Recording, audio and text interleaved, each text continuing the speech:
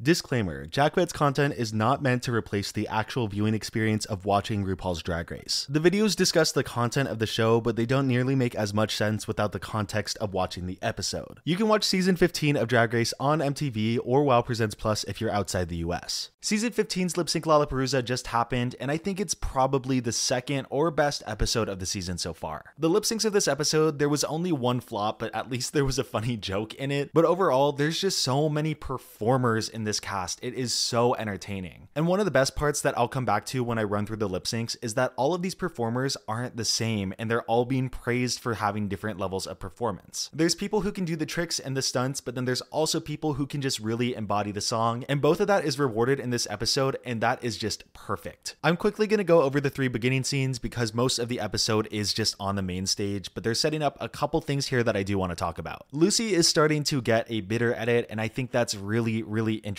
She had a really cool three episode arc right in the beginning, and then hasn't really had anything since. They've barely put her in the edit at all. But after she went off in Untucked last week, I feel like they're now going to start to look at her again, but in a different way. Now that they know these placements are getting to her, they may start to shift into toying with her in the way they kind of are doing with Marcia. I talked about last week how I felt like they're trying to do the same thing with Marcia that they've done with Jan, but Marcia is honestly not really budging in the same way. Marcia's frustrated, but it isn't coming out in the same way. Then walks in Lucy, who is so mad and feels like she deserves that top spot. So now the queens are acknowledging her frustrations, or how Mistress puts it, drag delusions. And then later in the episode, they got on her for taking the easy way out by picking Spice in the Lalaparuza. So it's seeming like they're starting to be a little more critical of Lucy, and this may be her storyline going into the next part of the season. Either she's gonna get it back together and prove them all wrong, or flame out in a glorious way. I'd be happy to see either, honestly. It just seems like a lot of the queens are getting a little tired of it, and like I've said, if they're showing it in the edit, it kind of matters for the season. Spice is still here to have a good time. She's just kind of taking advantage of the situation, even though she isn't doing that great. And the vibes that she's putting off, even when she isn't doing that great in the competition, it's kind of setting her up for the rest of the episode. She's just overall a good person to have around in the eyes of all these queens. People just really, really like her. And so potentially, if a queen has to pick someone to save at the very end of the episode, I wonder who they pick. Then it moves on to the next day, and Mistress literally just gives us a full on checklist of what we need to look out for for the rest of the episode. It gets to the point, we got a lot of lip syncs to go through, but it's just so on the nose. Marcia, Lucy, and Spice are the goal, stay away from Anetra and Sasha, and you're golden. And then we immediately hit the main stage, and this is one of the quickest times that we've gotten to the main stage on any episode of any franchise. The rules are then set up, and I get PTSD from that bingo roller to be completely honest. There's a lot of speculation out there on whether the bingo balls are actually random or not. I think for specific rounds, they may weigh someone's name in a little more than others, just to make sure that the narrative can kind of go the way they want. I think the Lalaparuza is also really good to get queens to lip sync who may not really get the chance to lip sync on a regular episode. Sasha and Anetra come to mind, or Daya and Jasmine last season. Sometimes they don't want to mess up a queen's narrative or their momentum in the competition, so this is a good excuse to see some really cool lip syncs and get a narrative going without having to put someone in the bottom. So first up, we got Malaysia and Marcia, and one thing that Mistress said earlier was that Marcia was one of the easy targets, but did we not see the talent show? Marcia is trained in dance, and that can transfer pretty easily to lip syncing. I'm surprised that they thought that she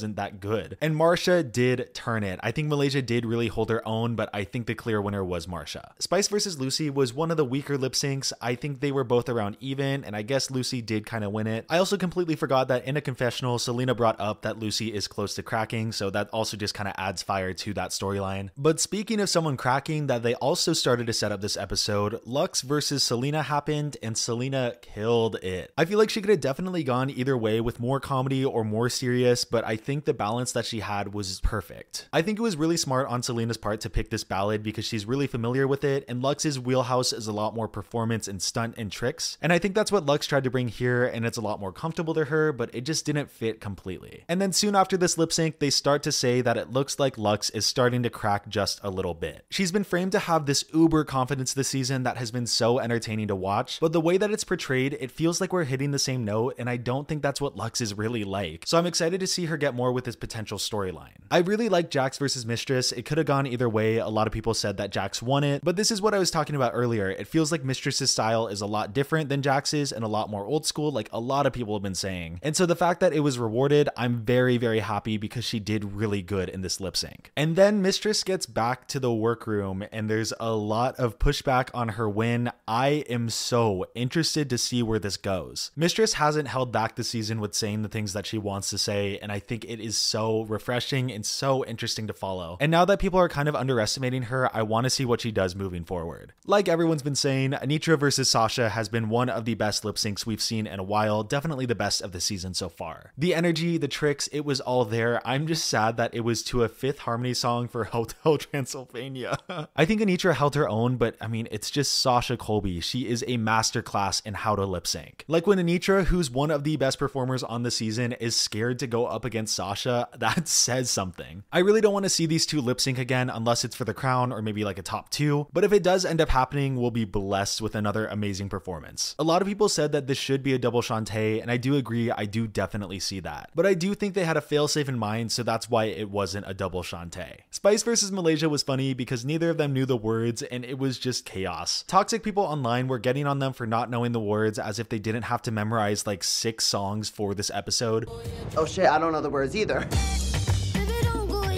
So some songs are just gonna fall through the cracks. It wasn't a good lip sync, but let's just be grateful that this was the only one. Honestly, I don't have much to say about the three way lip sync. I thought it was good. I thought it was fun. People were saying that Anetra won. Yeah, arguably so, but I think Luxx also did a really good job as well as Jax. And I think the queens in the workroom were right to assume that two queens would be saved here, especially because all three of them did so good. It just wouldn't make as much sense because the numbers would be going off going into the final lip sync. But then we get to the twist, and I just don't know how I feel about it. Part of me thinks that it was just there to save Spice, but I don't know. Why would they make it just so obviously that? It's just so out of left field. I don't know why it was there because Spice could have won one of the other lip syncs because they were about even. I mean, Spice herself thought that she was going home at this point in her drag career. She just wasn't a performer. It just seemed like the writing was on the wall when she lost the next lip sync and it was just her against Anetra and Jax. So for the showrunners to put this twist out there, I just really don't know how I feel about it because there's just so many factors at play. What it does set up though that I really enjoy is the rise of Anetra. First, I just want to say Anetra's whole reasoning behind saving Spice outside of it just not really being a fair chance for Spice is the fact that Anetra just really really likes Spice and just wants to keep her there. But that was explained behind the scenes while on TV we got a really badass depiction of Anetra. Jax has been shown to be a really strong lip syncer, so for her to choose Jax over Spice to lip sync against, that is a power move. Another thing that I really like about these Lalaparuzas is that we get to know the queens a lot more. It's just a great way to showcase queens, everyone gets their own little moment, aside from Jax this episode, but I'll get to that. And they often just breathe new life into storylines where they start to slow down. And Anetra, though doing pretty well in the competition the entire time, hasn't really been in the edit very much. She won the first episode and then was safe for the next three weeks, then she was low, and then last week she was high, but even then we didn't really get that much content with her. So for her to pop back in like this and do all these power moves, I don't know, it's looking pretty good for her. I feel like this episode was the ticket they needed to go full in on Anetra, and I'm really excited to see where she goes from here. The final lip sync was good, but I think a lot of people agree that Nina versus Aja was still better, and I just feel so weird over Jax right now. People have now pointed out on Twitter where this may be a new storyline forming. The lip sync assassin goes home in the lip sync Lalaparuza. It happened last season with Jasmine, and now it's happening with Jax here. But for Jasmine, a lot of the narrative of the episode was focused around her, while here it just feels like Jax was shafted. We got very few confessionals with them, not a lot of people were even talking about them in the episode. It just seems like they moved on already, and that was really frustrating. Like I said earlier, everyone got their little bits to talk about their strategy, talk about people underestimating them, and from what I can recall, Jax didn't get that. Jax is definitely a queen though that I can see coming back for an all-star season and doing super well. I quickly want to talk about some comparisons to another season. Is this episode as good as season 14? I don't think so, but I think it's setting up a lot of things and it may pay off more in the end. With how season 15 is playing out, it feels like season 14 is just aging better and better. A lot of similar beats have been hit in season 15 aside from like all the non-eliminations, and for the most part, I feel like the execution in season 14 was just stronger. If the parallels keep continuing, I'm definitely going to do a video on it, and one of the prime examples that I'll look towards is this lip sync Lalaparuza and why season 14 does it better. I don't think it's bad in season 15, but I feel like a lot of the novelty or a lot of what made season 14 so strong just wasn't as present. What makes season 14 so fresh and so good, even with multiple Lalaparuzas before it, is how it's framed and set up. All of them did so bad in Snatch Game, so now they're getting punished by having to do this, and it's just really interesting because we don't know what's gonna happen. While in season 15, it's not set up as well, it just feels like we're going through the motions like, oh, look, we're lip syncing, guys, that's what we're doing. And you can honestly extend this idea out to every single SmackDown before season 15. Even the not so good ones like Canada 2 or season 13, they felt like a big monumental point in the season. Eliminated queens are brought back, there's a game within a game, the queens are getting punished, you have to lip sync to get to the finale. They're playing mental warfare with you, and that's just season 13. There's a reason they're happening, and my biggest critique with season 15s is that it now just feels like another challenge. And that's honestly just something I've been trying to shake off with season 15, but it's been so hard to do. Partially with the edit and maybe some other factors that we don't really know, it feels like a lot of the season is just going through the motions and we don't really have a lot of innovation. And I mean, on the show side of things, the queens are still doing really great. There's still a lot of time to do some fresh things. I mean, early on in the season, we got the split premiere that was still in the same episode, kind of like that double premiere. And they also did the supersized snatch game, so they're trying things, but right now it just feels a little stale. I don't need them to constantly switch up the format, but especially with these SmackDowns, I feel like they forgot what made it so special. Hopefully, it's just the mid-season rut and we have a lot of good episodes coming up. I feel like that is the case. When going through a longer season, you can't really appreciate as much as you can with hindsight. So maybe down the line, I'll look back and be like, oh, actually, the season wasn't actually that stale. We'll see what happens with time. We're getting set up nicely for the end game. I feel like everyone has a pretty good storyline going, maybe except for Salina, so I'm a little worried about her. Mistress, Lucy, and Luxx got their foundation shook just a little bit, so I'm looking at them going forward. And I feel like with this episode, Anetra has set herself up very nicely going forward. Stay on this aside, I still love the show and I still love talking about the show. If you haven't seen my recap of the trip to Nashville, please go watch that video. It's a really fun time. I got some fun stuff coming up, so I will see you soon with another video.